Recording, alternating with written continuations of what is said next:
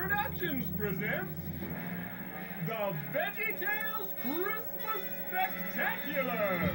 We were excited that we were finally going to get one of our shows on TV. So we did a deal with PAX uh, that had just started. It's like, well, this will be fun. Let's see if we can, you know, a new network, see if we can get a new audience to come to a new network to watch Veggies on Christmas. Larry? Yeah, Bob? This is network television. I know. Do you know how hard it was to get a network to turn over an hour of airtime to a bunch of vegetables? Well, I love Christmas music. So when we had a chance to do a, a Christmas show, I thought that was going to be a lot of fun, which it was. Uh, but we didn't use a lot of traditional Christmas music, so I had uh, a lot of fun trying to sneak it in where I could. For example, on the silly song, uh, Oh Santa, da da da da da da da, at the end there, through the whole verse, you hear jingle bells underneath there. Uh, at the very end of that song, you hear just a line of Joy to the World. Bum, bum, ba-dum, bum, bum, bum, bum. With a lot of the silly songs, it's kind of a conglomeration of a few different experiences for me. Oh, Santa, I can't wait for you to come. I just can't wait for you to come, and I've got cookies. You know, I think Oh Santa, um, you know, obviously I wanted it to, you know, have a Christmas theme. Um, I had uh, just seen, um, my wife and I went uh, and saw the play The Kiss of the Spider Woman with Chita Rivera.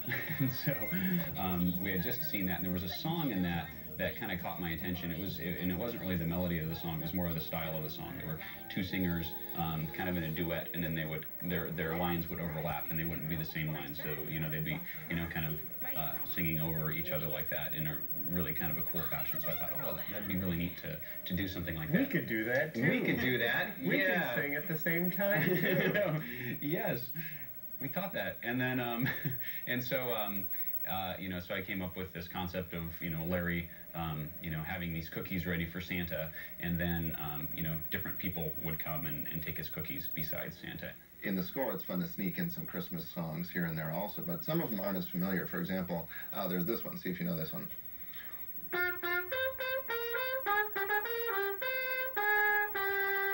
Uh, which is Willie, take your little drum, da da dum bum bum. Uh, but I like to sneak that in where there's some real action sequences. Bum bum bum bum bum bum bum bum bum bum. But so I change up the rhythm and kind of hide it in there.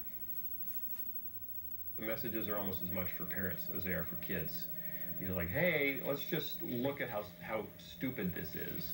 You know, that we're all running around, gotta have it, gotta have it, gotta have it, and it's stuff that no one needs at all. So that was uh, the genesis of Buzzsaw Louie. The little, you know, like, what if an action figure, you know, like a Cabbage Patch Kid, stood up and said, hey, this is ridiculous. You know, you don't, this isn't what Christmas is about. You don't need me. I'm just a little stuffed sock, you know? Uh, and that's, you know, that's the storyline. The Toy That Saved Christmas was another step in the chain. Every show we make leads to discoveries that enable us to make the next show, make every show that much better, that much bigger, that much grander. Uh, the stuff we learned in Toy That Saved Christmas went on to be used in uh, Larry Boy versus the Fib from Outer Space and Josh and the Big Wall, and they in turn taught us things to make the stuff that came after them. I think Big Idea Productions is the only company that makes children's programming that handles faith issues in such a relevant, real way, with great humor and enjoyment. So it's it's a joy to work with. But originally, it was like everybody just kind of had their fingers crossed. They prayed in the morning, Lord, we sure hope we don't lose anything today, uh, because we don't have time to back it up, nor do we have the funds to pay for backup. And they all lived happily ever after. The end. Hi kids, Bob the Tomato here with a great activity you and your family can try. It's all about learning how to give. Uh, you know, instead of only thinking of yourself, just like Mr. Nezer learned in the toy that saved Christmas. This activity is called Here's the Scoop, Getting a Handle on Giving. To play, you'll need plastic spoons, tape, newspaper, plastic cups, a bowl, a watch, and some kind of light snack food. We're going to use candy, but you can use marshmallows, popcorn, whatever you have in the kitchen. To set up, everyone needs to take a big sheet of newspaper and roll it tightly into a tube that's two and a half feet long or so and about an inch around. Tape it down to keep it from coming open. Then tape the handle of a plastic spoon on one end of the tube. It should look like a spoon with a very, very long handle. And remember, when making this contraption, the little folks might need some help from the big folks.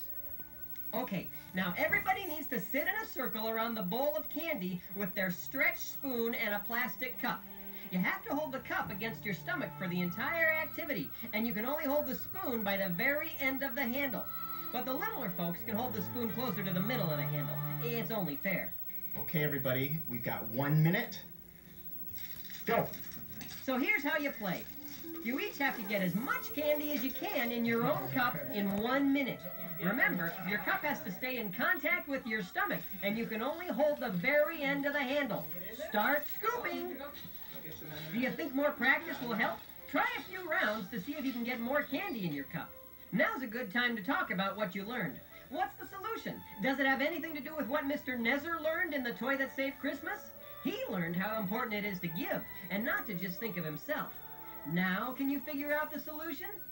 Well, kids, that's all for me. I hope you had a great time. Oh, and if you're still stumped, check out our website at www.bigidea.com. We'll post the solution there. Merry Christmas!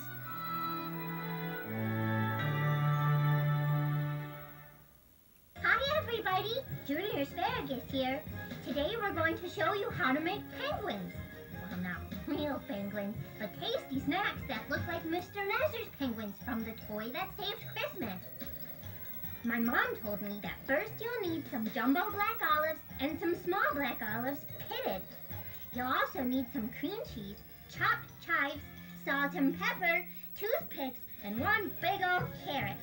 If you want to add Bob and Larry and me, you'll also need a cherry tomato, a small pickle, a small spear of asparagus, and another big old carrot.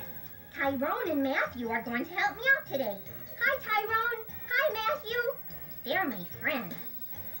Okay, now you'll need to get a grown-up. Very important. Get a grown-up to slice the side of each jumbo olive and chop the chives. That is, if you like chives. You don't have to use them. The grown-up will also have to slice the carrot into rounds and cut out a triangle for the feet. Don't eat the triangle yet, okay? You're gonna need it in a minute. Let's see, what's next? Okay, after the grown-up is done, mix the cream cheese, chives, salt and pepper, and put it into a pastry bag. If you don't have a pastry bag, any plastic bag will do. Just cut one little corner with some scissors. Now this is the fun part.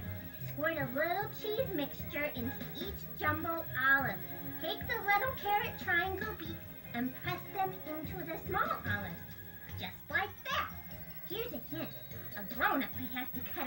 in the small olive first to hold the beak. That's what Mom did for me. Oh, great. Now it's time to put it all together. Take a jumbo olive, put it on a carrot slice, and then put the small olive on top of the large olive. Aren't they great? But wait, there's more. If you want a whole veggie tail scene, just like in the toy that saved Christmas, take a small pickle, a cherry tomato, and the top of a little spear of asparagus, and put them on a carrot sled, and put the whole gang on a little plate of cottage cheese No! You might even want to dress us up with scarves and hats and earmuffs. Be creative. Use whatever you have around the kitchen. Like this, we used corn chips for the feet, and Mom made earmuffs out of blueberries. And there you have it. Bob, Larry, the penguins, and me. It's not really us, but don't be afraid to eat up.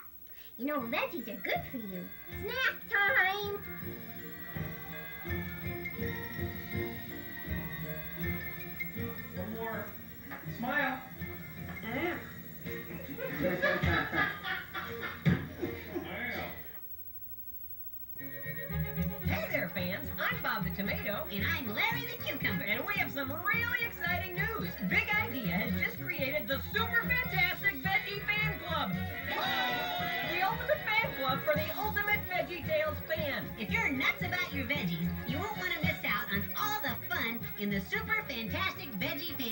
That's right, Larry. Members will get all kinds of cool stuff, including a VeggieTales video of their choice, an official membership certificate, exclusive toys, and our bi-monthly newsletter, The Veggie Bee, full of activities your whole family can enjoy. Be sure to see the insert that came with this video, or come to bigidea.com for more information. The super fantastic Veggie Fan Club is the fan club you've been waiting for. Don't miss out.